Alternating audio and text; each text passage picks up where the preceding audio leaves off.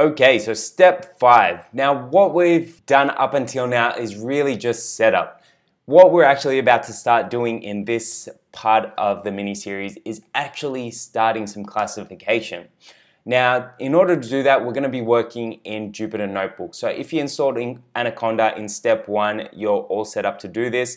If not, head back over to that step and actually start installing Anaconda and then come back to this. So what we're going to do here is we're going to use Jupyter Notebooks to play with, with our uh, visual recognition service.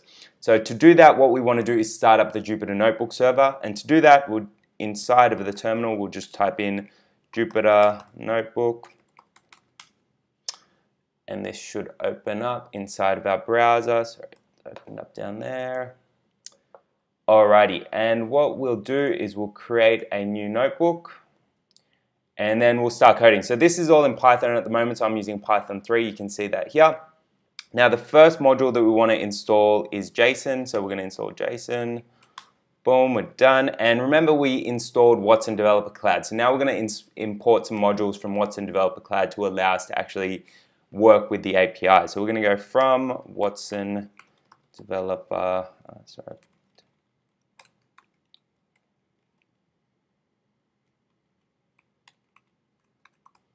cloud import visual recognition v3.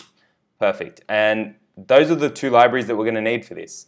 Now, what we're going to do now is create an instance of our service. So we're going to connect to our service or a, an instance connection. And we're going to call that visual recognition.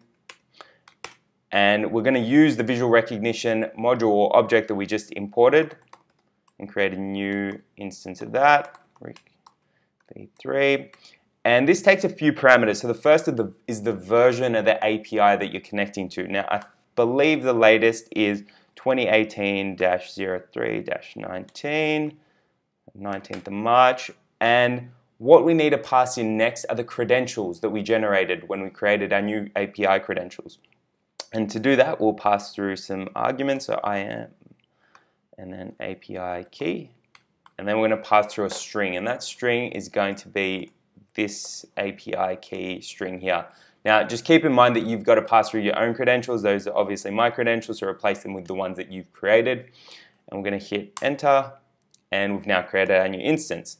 Now, what we can actually do now is start getting together some data to actually classify. So, say we want to classify a really basic image of just a computer, for example what we can do is head over to our good old mate Google and grab an image of a computer. Let's try this one for now. And we just need to copy the image address. Let's just double check that's going to work. Yep, so it needs to have JPG or JPEG or be some sort of image format on the end for this to work. So we're going to type in URL equals and we're going to pass through our URL. So we've got that. And now we're going to create a new uh, call to our service. So we're going to go call that result because what we're going to get back is our result. And so we're going to go visual recognition, to our service here, so we'll copy that. Dot, and now we're going to call a method from our service. So in this instance, we're going to be calling the classify method because we're looking to classify our images. Later on, when we look at detecting faces, we're going to be using the detect faces method and eventually once we start creating our own custom models, we're going to be using something else again. So here we're going to use classify. And we'll, what we want to pass in there is our URL, so our argument. So we're going to call URL equals URL. And then we're going to say get result.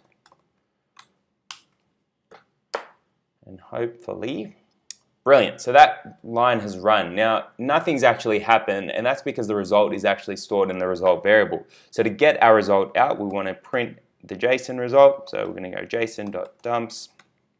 I'm going to say result, and then we're going to go uh, indent equals 2. Boom. All right.